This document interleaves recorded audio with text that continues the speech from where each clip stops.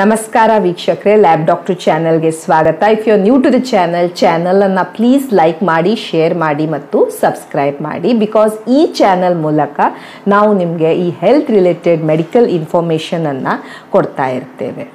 ಇವತ್ತಿನ ವಿಡಿಯೋದಲ್ಲಿ ನಾವು ಇನ್ನೊಂದು ಕ್ವೆಶನ್ ಈ ಅಬಾರ್ಷನ್ ಆದಾಗ, ಗರ್ಭಪಾತವಾದಾಗ, ಅದು ಮೆಡಿಕಲ್ ಅಬಾರ್ಷನ್ನೇ ಆಗಿರ್ಬೋದು, ಗುಳಿಗೆಯಿಂದ ತಿನ್ಕೊಂಡು ಅಬಾರ್ಷನ್ ಮಾಡ್ಕೊಂಡಿರೋದು, ಅಥವಾ ಸರ್ಜಿಕಲ್ ಅಬಾರ್ಷನ್ ಶಸ್ತ್ರಚಿಕಿತ್ಸೆಯ ಮೂಲಕ ಅಬಾರ್ಷನ್ ಆದಾಗ, ಆ ಮಹಿಳೆ ಯಾವ ಟೈಪ್ ಆಫ್ ಫುಡ್ಡನ್ನು ತಿನ್ನಬೇಕು ಏನನ್ನು ಅವಳು ಅವಾಯ್ಡ್ ಮಾಡಬೇಕು, ಏನನ್ನು ಹೆಚ್ಚಿಗೆ ತಿನ್ನಬೇಕು ಇದರ ಬಗ್ಗೆ ಇವತ್ತಿನ ವಿಡಿಯೋದಲ್ಲಿ ತಿಳಿದುಕೊಳ್ಳೋಣ.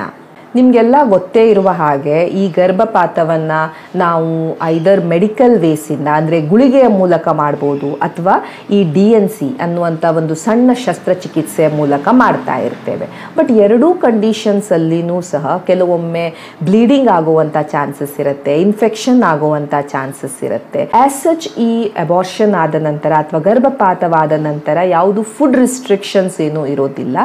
ಎಸ್ ಬಟ್ ಕೆಲವೊಂದು ಫುಡ್ಸಿಂದ ನೀವು ನಿಮ್ಮ ಬಾಡಿಯನ್ನು ಹೀಲ್ ಮಾಡ್ಕೊಳ್ಬಹುದು, ಬೇಗ ಚೇತರಿಸ್ಕೊಳ್ಳಿಕ್ಕೆ ಇದು ಹೆಲ್ಪ್ ಮಾಡ್ತಾ ಇರ್ತವೆ ಕೆಲವೊಂದು ಸಿಂಪ್ಟಮ್ಸ್ ಲೈಕ್ ರಕ್ತಸ್ರಾವವಾಗ್ತಾ ಇರ್ಬೋದು ಅಥವಾ ಹೊಟ್ಟೆ ನೋವು ಇರ್ಬೋದು, ಈ ಗರ್ಭಪಾತವಾದ ಕೆಲವೊಂದು ದಿನಗಳವರೆಗೆ ಇರ್ತವೆ. ಕ್ರಮೇಣವಾಗಿ ಇವು ಕಡಿಮೆ ಆಗ್ತಾ ಬರ್ತಾ ಇರ್ತವೆ.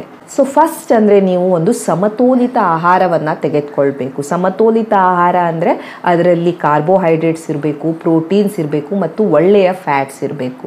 ಯಾಕೆ ಇದು ಇಂಪಾರ್ಟೆಂಟ್ ಆಗುತ್ತೆ? ನಿಮ್ಮ ಬಾಡಿಯನ್ನು ಹೀಲ್ ಮಾಡಲಿಕ್ಕೆ, ನೀವು ಚೇತರಿಸಿಕೊಳ್ಳಿಕ್ಕೆ ನಿಮಗೆ ಬೇಕಾಗತ್ತೆ. ಪ್ರೋಟೀನ್ ಎಸ್ಪೆಷಲಿ ಎಲ್ಲಾದರೂ ಒಂದು ಗಾಯ ಆಯಿತು, ಅದು ಮಾಯಬೇಕು ಅಂದಾಗ ನಮಗೆ ಅಡಿಕ್ವೇಟ್ ಪ್ರೋಟೀನ್ಸ್ ಬೇಕು. ಸೊ ನೀವು ಪ್ರೋಟೀನ್ಸನ್ನು ತೆಗೆದುಕೊಳ್ಬೋದು, ಅದು ಹೋಲ್ ಗ್ರೇನ್ಸ್ ಆಗಿರಬಹುದು. ದವಸ ಧಾನ್ಯಗಳು ಚಿಕನ್ ಎಗ್ಸ್ ಇವುಗಳನ್ನು ಕನ್ಸ್ಯೂಮ್ ಮಾಡ್ಬೋದು. ಕಾರ್ಬೋಹೈಡ್ರೇಟ್ಸ್ ನಿಮಗೆ ಎಲ್ಲಿಂದ ಎನರ್ಜಿ ಬರುತ್ತೆ? ಶಕ್ತಿ ಕೊಡ್ತಾ ಇರುತ್ತೆ. ಅದು ಅನ್ನವಾಗಿರ್ಬೋದು, ಚಪಾತಿ, ರೊಟ್ಟಿ ನೀವು ತಿನ್ಬೋದು. ಆ್ಯಂಡ್ ಗುಡ್ ಫ್ಯಾಟ್ಸ್ ಗುಡ್ ಫ್ಯಾಟ್ಸಲ್ಲಿ ಯಾವುದರಲ್ಲಿ ಒಮೆಗಾ ಫ್ಯಾಟಿ ಆ್ಯಸಿಡ್ಸ್ ಇರ್ತವೆ ಆ್ಯಂಟಿ ಆಕ್ಸಿಡೆಂಟ್ಸ್ ಇರ್ತವೆ, ಈ ನಟ್ಸ್ ಆಗಿರ್ಬೋದು, ಇವುಗಳಲ್ಲಿ ನೀವು ಕನ್ಸ್ಯೂಮ್ ಮಾಡ್ಬೋದು. ಆಲ್ಸೋ ನಿಮ್ಮ ಆಹಾರದಲ್ಲಿ ಹೆಚ್ಚಿನ ನಾರಿನಾಂಶ ಇತ್ತು ಅಂತ ಹೇಳಿದಾಗ, ಅದು ನಿಮಗೆ ಈ ಕಾನ್ಸ್ಟಿಪೇಷನ್ ಅಥವಾ ಮಲಬದ್ಧತೆಯನ್ನು ತಡೆಯುತ್ತೆ. ಆದಷ್ಟು ನೀವು ಹಣ್ಣು ಹಂಪಲಗಳನ್ನು ತೆಗೆದುಕೊಳ್ಬೇಕು. ಇದರಲ್ಲಿ ಒಂದು ಫೈಬರ್ ಬಹಳ ಹೆಚ್ಚಿರುತ್ತೆ ಆ್ಯಂಟಿ ಆಕ್ಸಿಡೆಂಟ್ಸ್ ಇರುತ್ತೆ. ಇದು ಬೇಗ ನಿಮ್ಮ ಈ ಪ್ರೋಸೆಸ್ ಹೀಲ್ ಆಗಲಿಕ್ಕೆ ಹೆಲ್ಪ್ ಮಾಡ್ತಾ ಇರುತ್ತೆ. ನೀವು ಎಡಿಕ್ವೇಟ್ ನೀರನ್ನು ಕುಡಿತಾ ಇರಬೇಕು.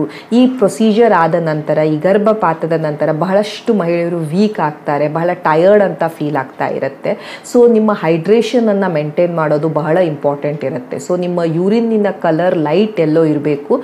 ಯಾವುದು ಸಜೆಸ್ಟ್ ಮಾಡುತ್ತೆ? ನೀವು ಎಡಿಕ್ವೇಟ್ ನೀರನ್ನು ಕುಡಿತಾ ಇದ್ದೀರಾ ಅಂತ. ಈ ರಕ್ತಸ್ರಾವವಾದ ನಂತರ ಮಹಿಳೆಯಲ್ಲಿ ಈ ಅನೀಮಿಯಾ ಅಥವಾ ರಕ್ತಹೀನತೆ ಕಾಣಿಸ್ಕೊಳ್ತಾ ಇರುತ್ತೆ ಎಸ್ಪೆಷಲಿ ಕಬ್ಬಿಣಾಂಶ ಕಡಿಮೆ ಇರುವ ಅನೀಮಿಯಾ. ಸೊ ಇಂಥ ಕಂಡೀಷನ್ಸಲ್ಲಿ ಮಹಿಳೆ ಅಯರ್ನ್ ರಿಚ್ ಫುಡ್ಡನ್ನು ತೆಗೆದುಕೊಳ್ಬೇಕು. ಅದು ಪಾಲಕ್ ಆಗಿರ್ಬೋದು, ದಾಳಿಂಬೆ ಆಗಿರ್ಬೋದು ಡೇಟ್ಸ್ ಆಗಿರ್ಬೋದು, ಖರ್ಜೂರ ಪಂಪ್ಕಿನ್ ಆಗಿರ್ಬೋದು, ಅಥವಾ ಬೀಟ್ರೂಟ್ ಆಗಿರ್ಬೋದು. ಇಂಥ ಫುಡ್ಸನ್ನು ನೀವು ಜಾಸ್ತಿ ಕನ್ಸ್ಯೂಮ್ ಮಾಡಬೇಕು ಸೊ ದ್ಯಾಟ್ ನಿಮ್ಮ ರಕ್ತಹೀನತೆ ಇಂಪ್ರೂವ್ ಆಗಬೇಕು. ಕೆಲವೊಂದು ಸಲ ಡಾಕ್ಟರ್ ನಿಮಗೆ ಅಯರ್ನಿನ ಗುಳಿಗೆ ಔಷಧಗಳನ್ನು ಸಹ ಕೊಡ್ತಾರೆ. ಅದೇ ರೀತಿ ವಿಟಮಿನ್ ಸಿ ಸಹ ನಿಮ್ಮ ಬಾಡಿಯ ಇಮ್ಯುನಿಟಿಯನ್ನು ಮೇಂಟೈನ್ ಮಾಡುತ್ತೆ ಮತ್ತು ಈ ಚೇತರಿಸಿಕೊಳ್ಳಿಕ್ಕೆ ಹೀಲ್ ಆಗಲಿಕ್ಕೆ ಹೆಲ್ಪ್ ಮಾಡ್ತಾ ಇರುತ್ತೆ. ಸೊ ವಿಟಮಿನ್ ಸಿ ಸಪ್ಲಿಮೆಂಟ್ಸ್ ಆಗಿರ್ಬೋದು ಅಥವಾ ವಿಟಮಿನ್ ಸಿ ರಿಚ್ ಇರುವಂಥ ಫುಡ್ಡನ್ನು ಸಹ ನೀವು ಕನ್ಸ್ಯೂಮ್ ಮಾಡ್ಬೋದು. ಈ ಗರ್ಭಪಾತದ ನಂತರ ಈ ಕ್ಯಾಲ್ಶಿಯಂ ಆ ಮಹಿಳೆಯ ಬಾಡಿಯಿಂದ ಕಡಿಮೆ ಆಗುತ್ತೆ. ಆ್ಯಂಡ್ ಕ್ಯಾಲ್ಶಿಯಂ ಬಹಳ ಇಂಪಾರ್ಟೆಂಟ್ ಮಿನರಲ್ ನಿಮ್ಮ ಸ್ನಾಯುಗಳಿಗಾಗಲಿ, ನಿಮ್ಮ ಬೋನ್ಸಿಗಾಗಲಿ ಸೊ ನೀವು ನಿಮ್ಮ ಬಾಡಿಯನ್ನು ಚೇತರಿಸಿಕೊಳ್ಬೇಕು ಅಂದಾಗ ನೀವು ಎಡಿಕ್ವೇಟ್ ಕ್ಯಾಲ್ಶಿಯಮನ್ನು ತೆಗೆದುಕೊಳ್ಬೇಕು. ನ್ಯಾಚುರಲಿ ನಮಗೆ ಕ್ಯಾಲ್ಶಿಯಂ ಈ ಸೀ ಫುಡ್ಡಿಂದ ಸಿಗುತ್ತೆ ಎಗ್ಸಿಂದ ಸಿಗುತ್ತೆ ಚಿಕನ್ನಿಂದ ಸಿಗುತ್ತೆ, ಹಾಲು, ಮೊಸರು ಇವುಗಳಿಂದ ಸಿಗ್ತಾ ಇರುತ್ತೆ. ಬೇಕಾದರೆ ನೀವು ಕ್ಯಾಲ್ಶಿಯಂ ಸಪ್ಲಿಮೆಂಟ್ಸ್ ಅಥವಾ ಕ್ಯಾಲ್ಶಿಯಂ ಗುಳಿಗೆಗಳನ್ನು ಸಹ ನಿಮ್ಮ ಡಾಕ್ಟರಿನ ಅಡ್ವೈಸಿನ ಮೇಲೆ ತೆಗೆದುಕೊಳ್ಬೇಕು.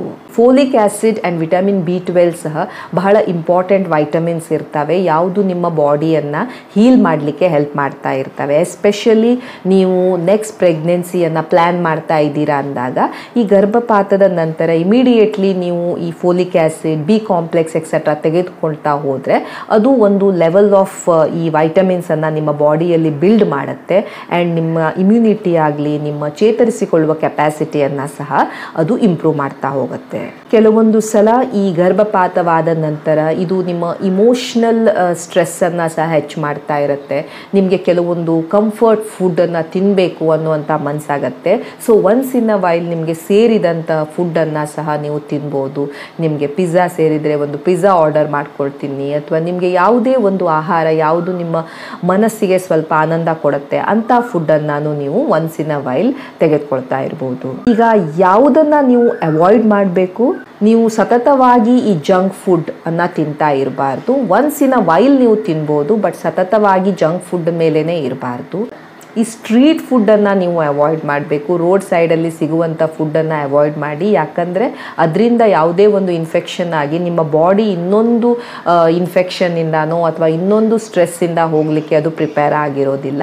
ಸೊ ಆದಷ್ಟು ಈ ಸ್ಟ್ರೀಟ್ ಫುಡ್ಡನ್ನು ಅವಾಯ್ಡ್ ಮಾಡಿ.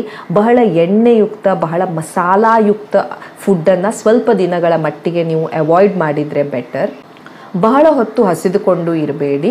ಫ್ರೀಕ್ವೆಂಟ್ಲಿ ಏನಾದರೂ ಒಂದಿಷ್ಟು ಹೆಲ್ತಿ ಫುಡ್ಡನ್ನು ನೀವು ತಿಂತಾ ಇದ್ದರೆ ಬೆಟರ್ ಏನಾದರೂ ಮಧ್ಯದಲ್ಲಿ ಒಂದು ಫ್ರೂಟ್ ಆಗಲಿ ಅಥವಾ ಫ್ರೂಟ್ ಜ್ಯೂಸ್ ಆಗಲಿ ನೀವು ಬೇಕಾದರೆ ಕುಡ್ಕೊಳ್ತಾ ಇರಬಹುದು ಆದರೆ ಶುಗರಿ ಜ್ಯೂಸಸ್ ಆಗಲಿ ಪ್ಯಾಕೆಟೆಡ್ ಜ್ಯೂಸ್ ಆಗಲಿ ಕೊಕ್ಕೋ ಕೋಲಾ ಪೆಪ್ಸಿ ಇಂತಹ ಡ್ರಿಂಕ್ಸನ್ನು ನೀವು ಮಾಡಲಿಕ್ಕೆ ಹೋಗಬಾರ್ದು. ಆ್ಯಂಡ್ ಆಲ್ಸೋ ಮದ್ಯಪಾನವನ್ನು ಮತ್ತು ಧೂಮಪಾನವನ್ನು ಮಾಡಬಾರ್ದು. ಯೋಗ ಮೆಡಿಟೇಷನ್ ಆರ್ ವಾಕಿಂಗ್ ಯಾವುದು ನಿಮಗೆ ನಿಮ್ಮ ಮನಸ್ಸಿಗೆ ಸ್ವಲ್ಪ ರಿಲ್ಯಾಕ್ಸ್ ಮಾಡುತ್ತೆ. ನಿಮಗೆ ದೈಹಿಕವಾಗಿ, ಮಾನಸಿಕವಾಗಿ ಸ್ವಲ್ಪ ಹ್ಯಾಪಿನೆಸ್ಸನ್ನು ತಂದುಕೊಡ್ತಾ ಇರುತ್ತೆ. ಅಂಥ ಪ್ರಾಕ್ಟೀಸಸನ್ನು ನೀವು ಮಾಡ್ತಾ ಇರ್ಬೋದು. So thank you so much for watching the video please ಚಾನಲನ್ನು ಲೈಕ್ ಮಾಡಿ ಶೇರ್ ಮಾಡಿ ಮತ್ತು ಸಬ್ಸ್ಕ್ರೈಬ್ ಮಾಡಿ. Thank you